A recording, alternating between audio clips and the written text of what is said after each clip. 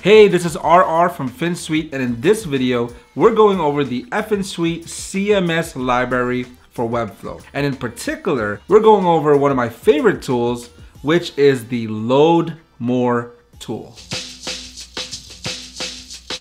We're in our Webflow Designer tool, and we're gonna go in and input the Load More tool from the Finsweet CMS library for Webflow. Now, what is this load more? Well, we talked a little bit about pagination on video number three, which was an overview of all the tools that you have in your arsenal with the Finsweet CMS library for Webflow.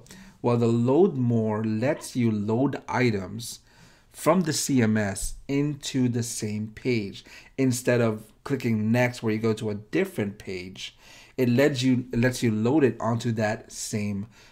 So this is kind of a, a different way of pagination. Instead of it going to the different screen, it gets loaded on the same screen. Now, in order for us to do that, let's first of all teach you how we can do pagination, how you can paginate your CMS. So we'll start with that. We'll show you what pagination looks like, and then we're gonna see why load more uh, is different, okay?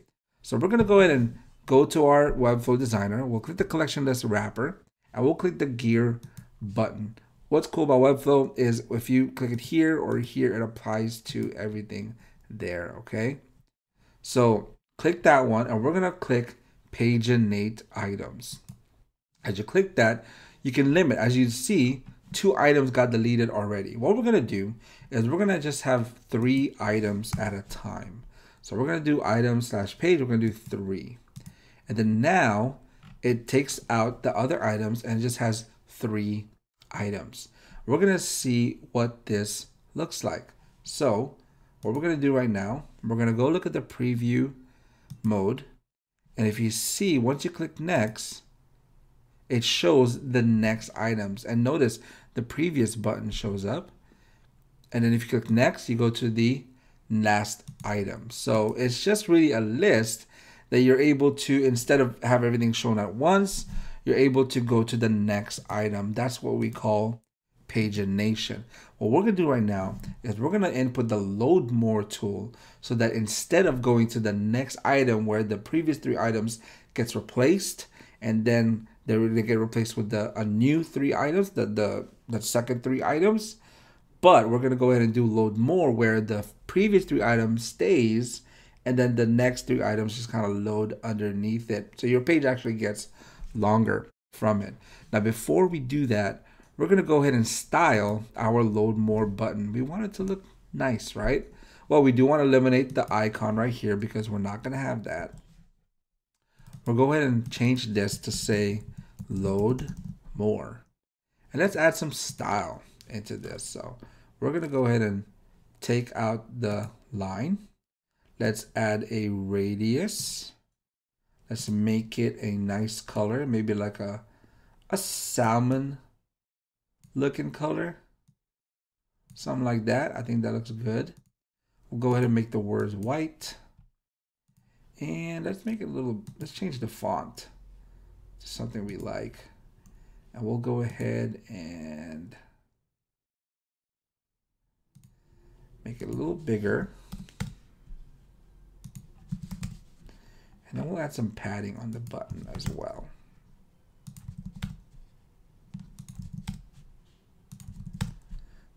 What do you say let's add some shadows? That might be nice. Let's add some shadows.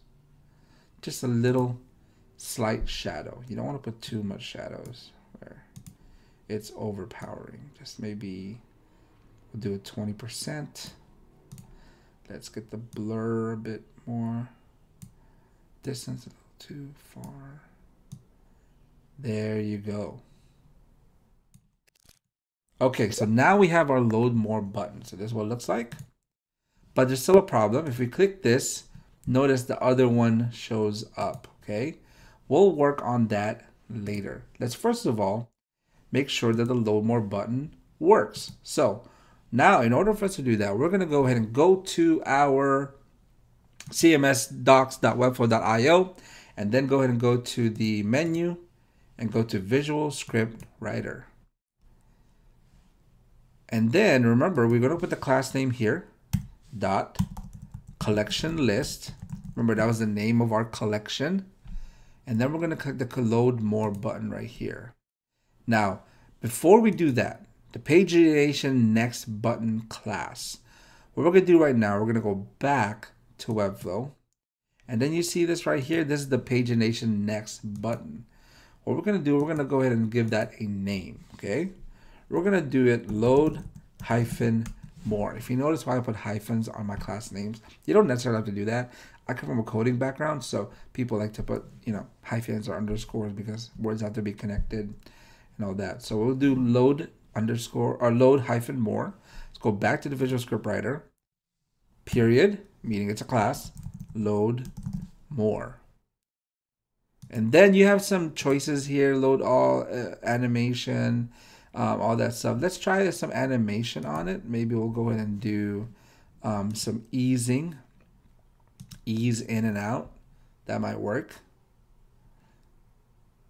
Um, let's maybe have it fade in. That could work as well. So let's go ahead and copy the code. Go back to the Webflow Designer and then go to the page. Click the gear button right next to the page name all the way down paste it on the before body tag, not the inside head, before body tag. And then we'll go ahead and save. Now remember, if we click preview mode, it's not going to work because this is code. You have to publish the website in order for it to work. So we'll go ahead and publish this website. And then let's see what we have. So here's our website. We'll click the load more button. If you notice, it went ahead and loaded the next items and automatically removed the previous button so it doesn't show up anymore. Let's refresh this website. And there it is. If you click it, you're able to have the things load down instead of paginating to the next. Now, if you notice, it was kind of weird that the button doesn't have a um, the, the, the press button icon, well, that's a simple fix. You could actually just go to load more right here and then go down and go to cursor. Instead of auto, you can make it a pointer so that now we'll go ahead and publish it.